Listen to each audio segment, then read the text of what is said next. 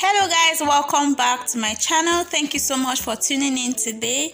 So today i'm going to be showing you the easiest way to make a pencil skirt. Trust me when i say it's easy because this is the easiest you can find out there. So i'm going to be using this scuba fabric. And this fabric is extremely stretchy and i have one yard for this tutorial. So um i folded my fabric with the largest part of my body my lower body which happens to be my hip. So on the waistline i'm going to mark the waist measurement divided by 4 my waist is 27 inches divided by 4 is 6.75 so i'll mark that on the waistline. And from the waistline i'm going to mark 8 inches downwards. That is the position of my hip. So on that point i'm going to insert a quarter of my my hip measurement which happens to be 8.5 inches okay? So because i'm using an extremely stretchy fabric i am not going to add seam allowance to this project okay? But if you're not using a stretchy fabric please go ahead and add your seam allowance okay? So the length of this skirt is 27 inches. So from the waistline i'm going to mark 27 inches downwards. And i'm going to mark one inch for hem allowance all right so on the hip line i have 8.5 inches which is my hip measurement. So on the hem line i'm going to remove one inch from that measurement all right? Meaning i'm marking 7.5 inches on the hem line of the skirt okay? So i'm going to connect the hip to the hemline measurement and then i'm going to connect to the waistline measurement using my straight ruler.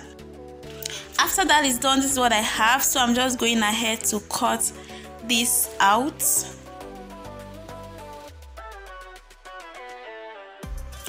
so I use that first panel to cut out the second panel making the front and the back panels of the skirt. Okay so after cutting the two panels this is what I have.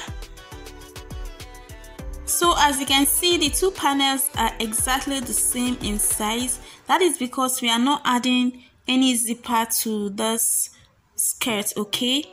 So what i want to do is to pick one of the patterns which would be my front pattern okay?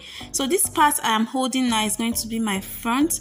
So on the center after folding it together i marked one inch downwards and i'm going to connect it in a slant manner to the edge of the pattern like this so i'm going to cut that out.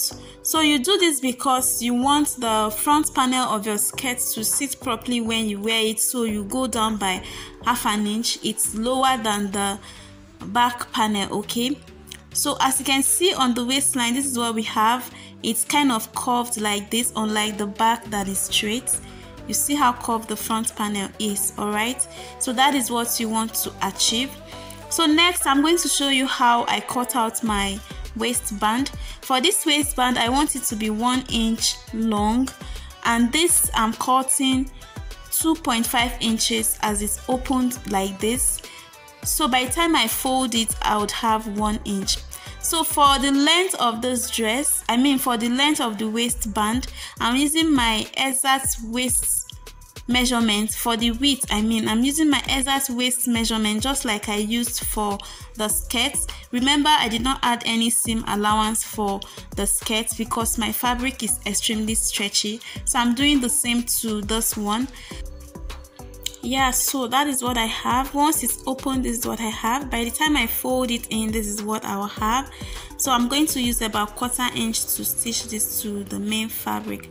Okay so these are my patterns. I have the two patterns for the skirt and i have the um, waistband for the skirt all right so i'm going to remove the waistband and i'm going to place the front panel on the back panel facing them right sides together. So I'm going to place them on each other like this align my fabric and then make a stitch at the sides so I'm going to close the side seams with about half an inch on each sides of the skirt okay? And when that is done I'm going to show you. So after stitching the two sides open guys this is what I have. So our skirt is almost ready almost ready okay? So this is what i have so far. As you can see it's already looking beautiful